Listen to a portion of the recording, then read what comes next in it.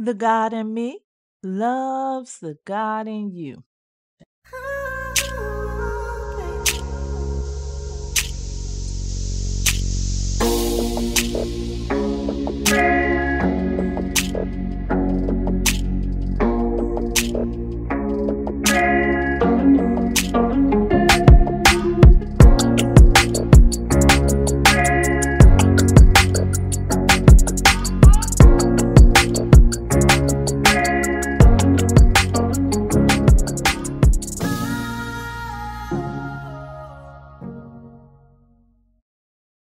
Hello, hello, hello, and welcome. You are listening to the Manifest on Purpose show.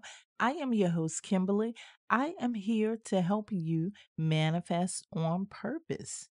Thank you so much for joining today. Thank you for all of those you invited, and thank you for subscribing here and on the website at manifestonpurpose.net.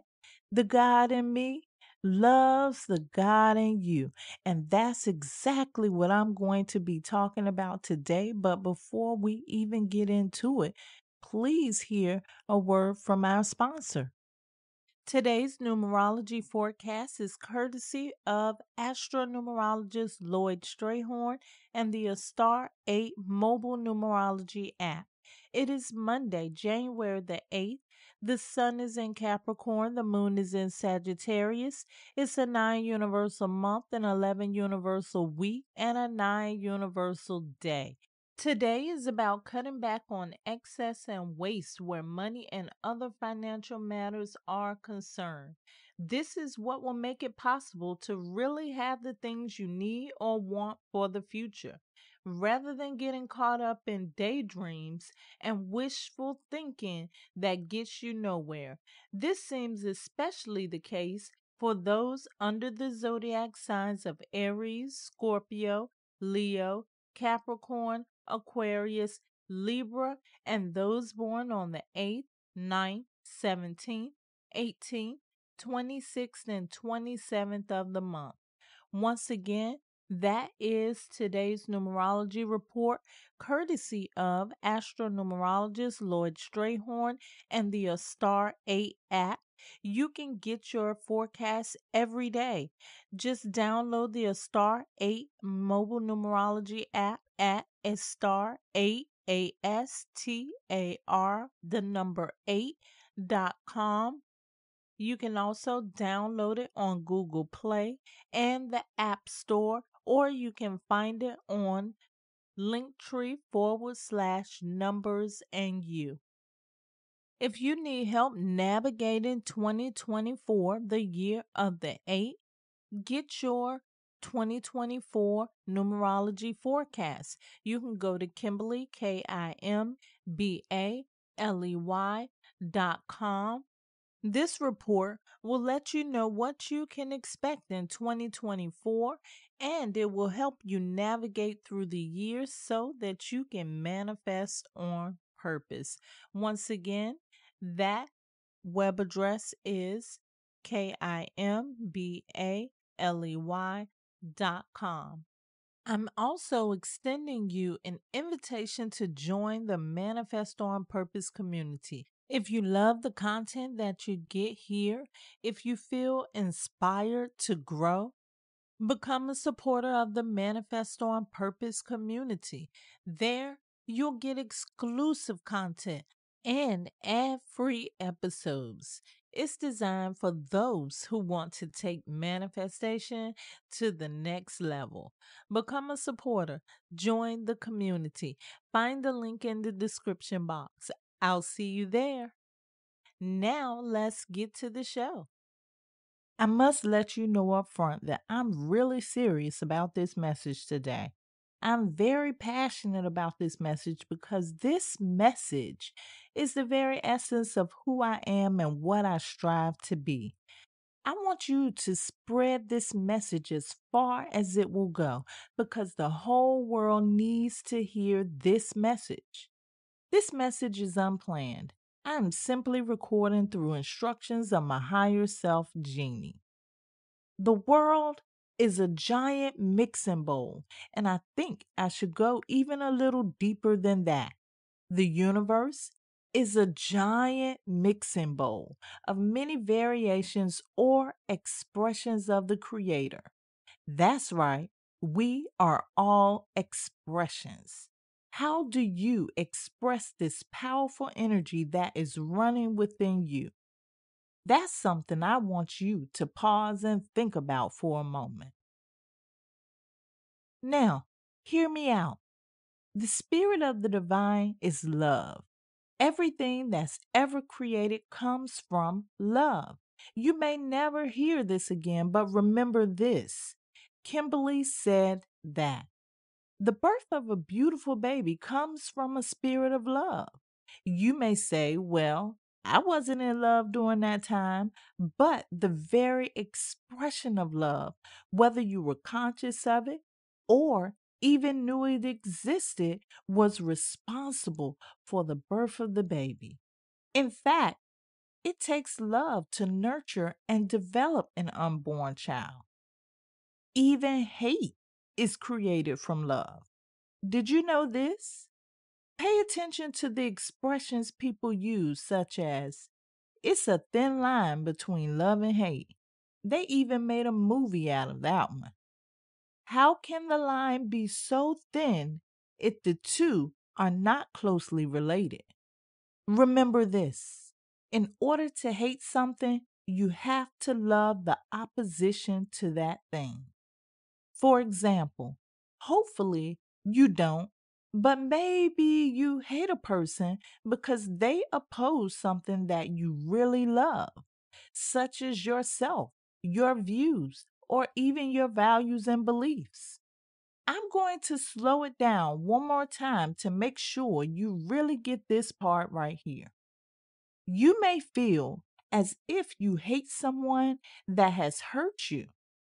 You love yourself so much that you feel hatred to the one that takes advantage of or hurts you. Everything ever created was created through the love of the Creator.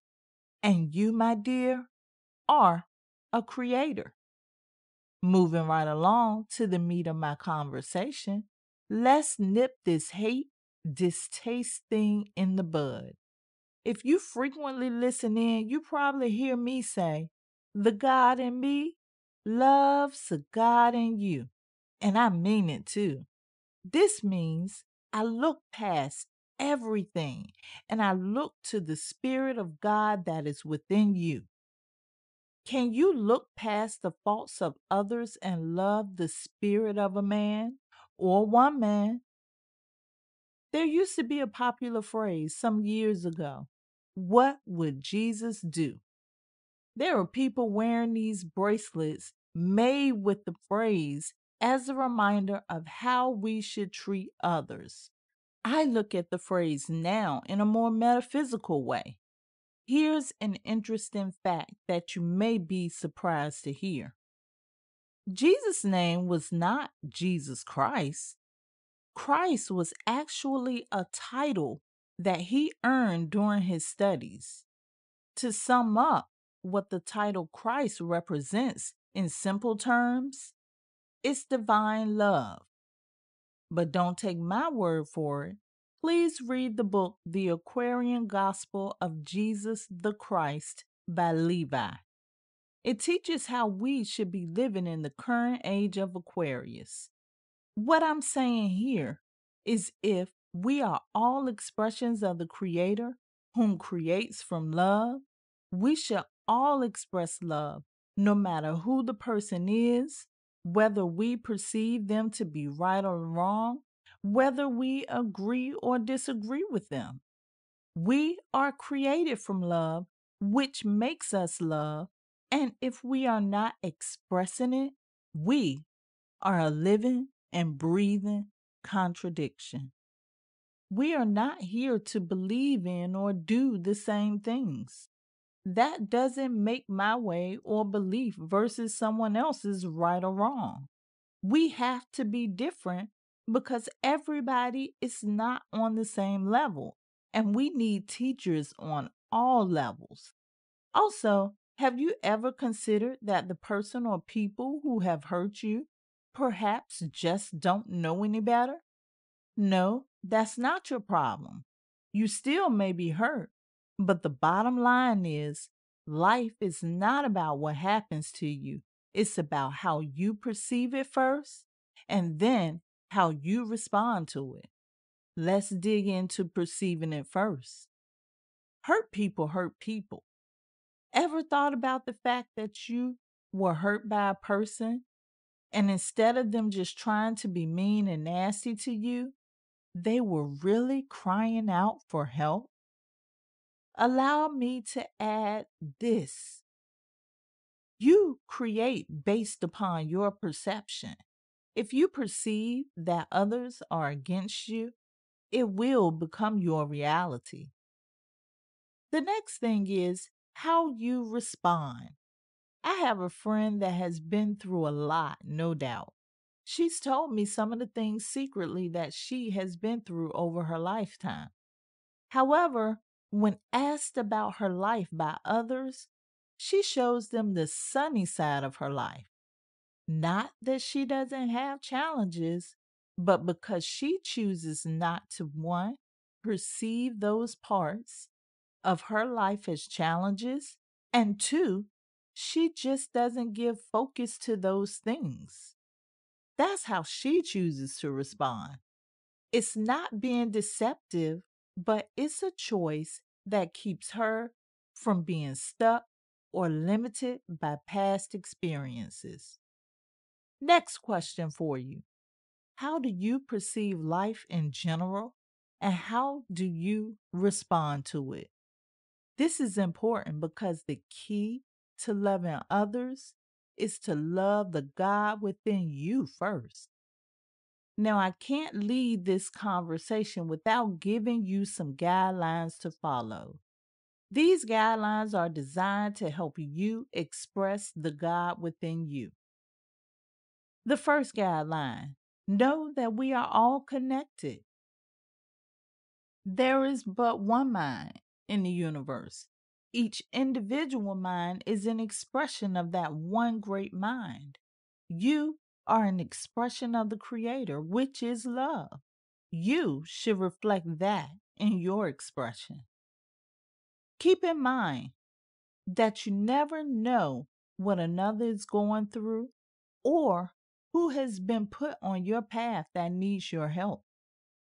If you are hurt, keep your distance, of course but resist the urge to react.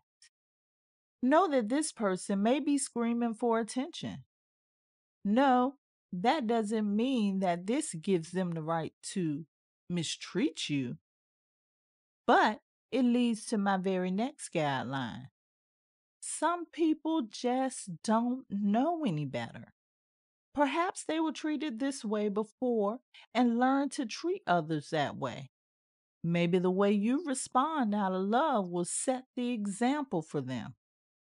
When I first moved to Washington, D.C. from North Carolina, I noticed a distinct difference in how people treated others.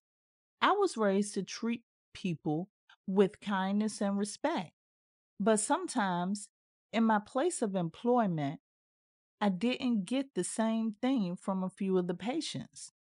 However, I remained kind and respectful. And almost every time, the patient would calm down, and I could see in their eyes that they felt bad for initially giving me such a hard time. Most of the time, I'd even get an apology.